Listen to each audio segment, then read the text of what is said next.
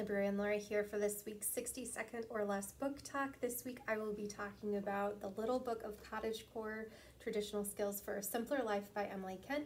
This is a non-fiction book that is a conglomeration of different types of homemaking skills and traditional skills that follow the cottagecore movement, which is a social movement going on right now to live a more simpler life and skills listed in this book include bread making, candle making, soap making, sewing skills, things like that. It is a great introduction to a bunch of different types of skills. If you're interested in traditional homemaking skills, I highly recommend this new book by Emily Kent. Take a look.